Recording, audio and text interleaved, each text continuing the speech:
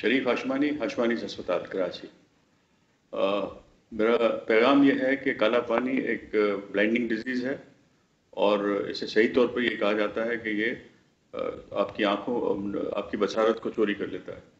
यानी it's silent thief of side और ये पता करना कि आपको काला पानी है या नहीं, इसके लिए आपको माहिर इमराज चश्म से रुजू करना चाहिए। हर वो लोग जो, जिनकी उम्र 40 साल या से ज़्यादा है, इनको चाहिए कि वो माहिर इमराज चश्म से अपने आँख का मुआयना करें शुक्रिया।